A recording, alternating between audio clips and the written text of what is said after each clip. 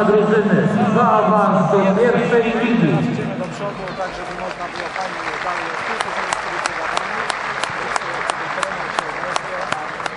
Bardzo serdecznie gratuluję, uśmiechnijmy się tutaj.